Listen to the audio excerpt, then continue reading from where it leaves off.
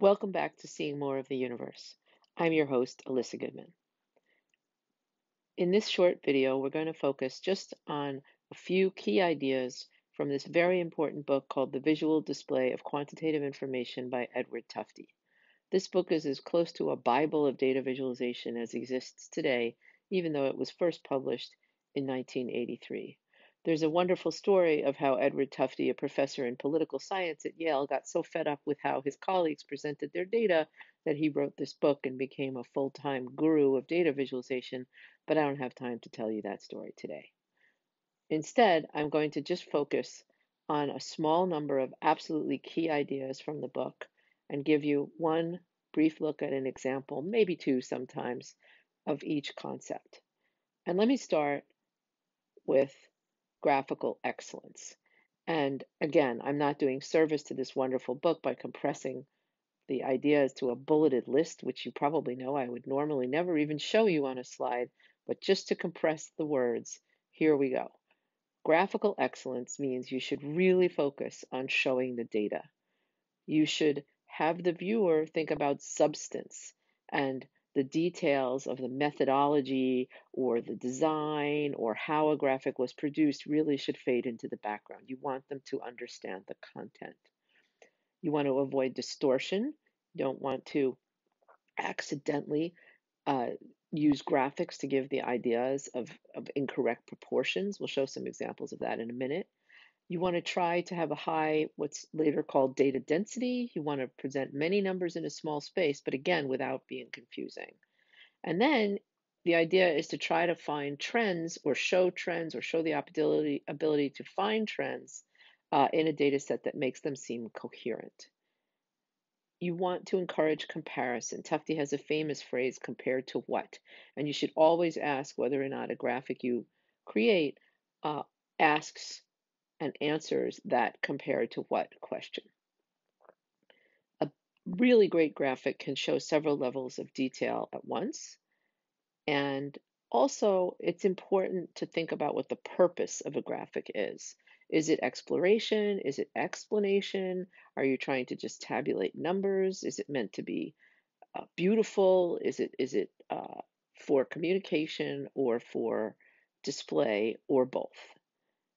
And then also you want the words and the numbers and the pictures, as we say in another video, to all be very closely integrated together.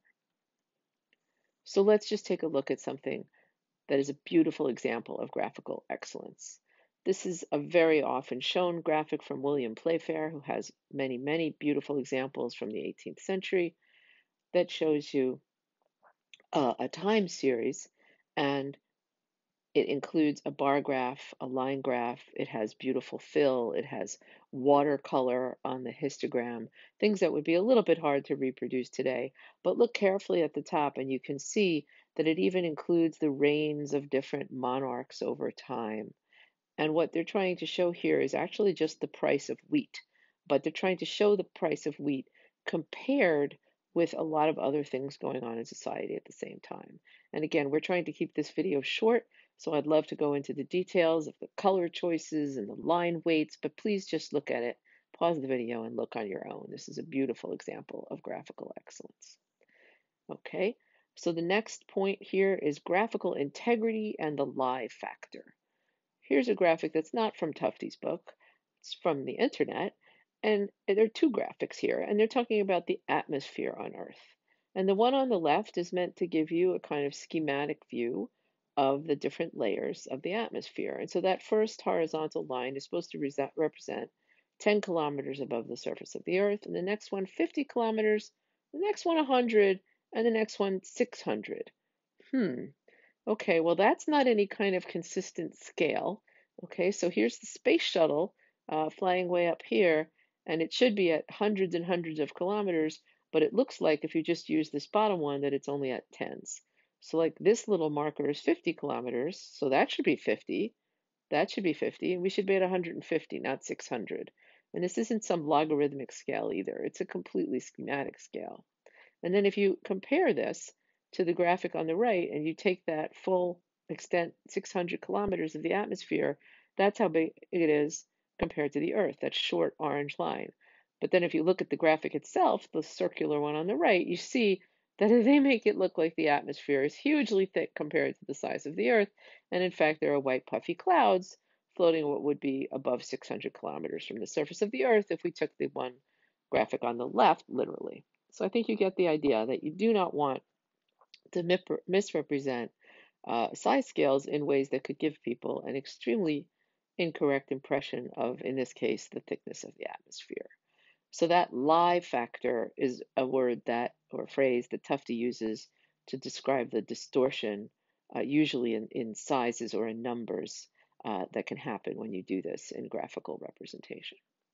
Okay, next is one that's almost self-explanatory. I love Tufte's word chart junk which just means extra stuff on a plot that really shouldn't be there.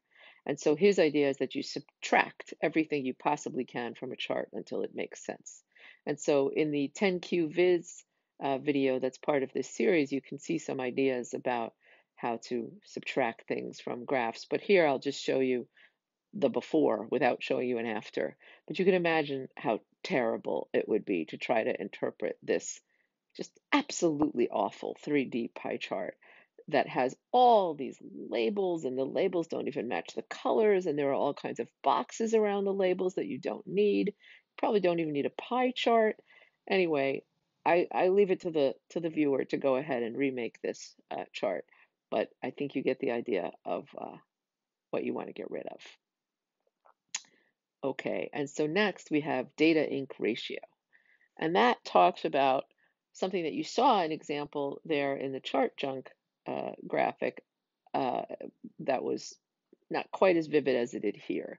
So here you have a bunch of points um, on a bar graph, and then you have a huge amount of writing without WWT, with WWT, without da, da, da, da, da, da, da, repeated, repeated, repeated, and a bunch of grid lines that you don't necessarily need. And this actually is a chart that uh, appears in a book by another visualization expert, Felice Frankel, uh, that's referenced down here. It's called Visual Strategies. And it's a chapter actually where I was asked to uh, provide an example of, uh, of kind of before and after graphic. And so this information here in the lower right is the same as the information in the upper left, but you notice that you can actually read the questions, they're presented horizontally, and that there's a whole lot less repetition uh, that you don't need, and a whole lot fewer grid lines that you also don't need. And so the idea is to have something look, if you have a white background, as white as possible, um, but still present all the information. So that really is related to this concept of subtraction that we saw in the previous example. Okay, so now let's talk about multi-functioning graphical elements. And this has to do with being very clever. And you saw actually a small example of it um, in the graphical excellence uh, design by Playfair, where there were a lot of different symbols and a lot of different sources of information all on one graph. Um, but here you see it more vividly where something that is itself um, spatial, like the layout of a basketball court, has these symbols on it that are quote unquote graphical symbols, but they're also showing you the positions of players and where they took shots from. And this looks very complicated in that there are these little score boxes and, and summary statistics, and that you can click on these different tabs. But this actually gets to another concept that we're not covering today, which is something that's meaningful to an expert as opposed to a novice. And again, that's covered in the 10Q Viz video. But here, in other words, if you know about basketball, this has a huge amount of information all in one place. And it's using a layout that would be familiar to someone who knows how to play basketball. Even the font that's used for the score is reminiscent of the old fashioned LED scoreboards, and so you immediately recognize these numbers as the score. So, again, I will leave it to the viewer to look at this more carefully and see what a wonderful example it is. Okay, so now what about data density? Here's a plot of New York City's weather back in 1980. And you can see that there's it's a little bit like the Playfair example in that there's a many different kinds of charts going on at once, but they're all linked together by this time axis, and there's a huge amount of data shown in this relatively clean plot. And so the more data you can show and have your graph not look complicated or unintelligible, uh, the better you're doing if you're trying to present a lot of information.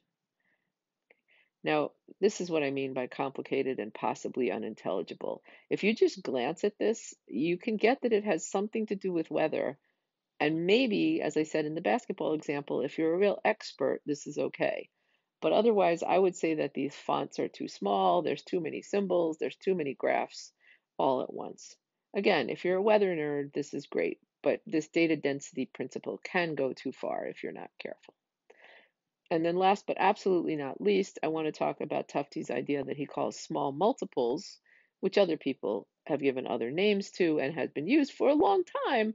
For example, by one of my great heroes of data visualization, Galileo Galilei. Here are Galileo's observations of the turn out to be the moons of Jupiter. And here's his original notebook where the big symbol is Jupiter and the little asterisks are the moons. He cleans that up and makes a classic small multiples display in his cleaned up notes here where he has a time series of the 7th, 8th, 9th, 10th of January in 1610 showing you the positions of Jupiter and its moons. And then in the book itself, this is a beautiful example of mixing the text and the graphics that was part of our graphical excellence discussion earlier, and is, of course, the subject of another one of these videos about integrating uh, text, graphics, and um, uh, numbers. Uh, you see here in the book, uh, again, the sort of repetition of the same kind of graph. That's what we mean by small multiples. And then I want to show you just one example more of a similar idea, uh, which we could call a composite table. That'll give me an opportunity to just briefly tell you that it was 1995 that I went to one of Tufte's seminars where he was talking about the visual display of quantitative information and some of his other books.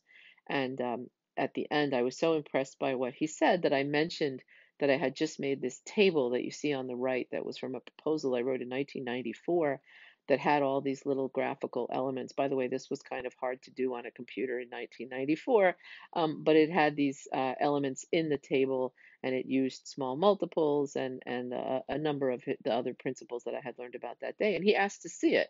And so I emailed it to him and we became pen pals and I started teaching a course at Harvard based on his book.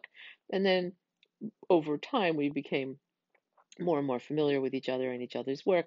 And here's a picture of us uh, back in 2015 where I was honored to uh, be asked by Tufte to speak about my own work um, in San Francisco. So anyway, I hope that gives you uh, a little taste of these really, really core principles uh, that are in this wonderful book, which I recommend you completely read, The Visual Display of Quantitative Information. Tufte has written several other very informative books, and they're all great. And I'll remind you that we have many more videos available uh, to form this full Seeing More of the Universe series on YouTube and elsewhere. Thank you very much.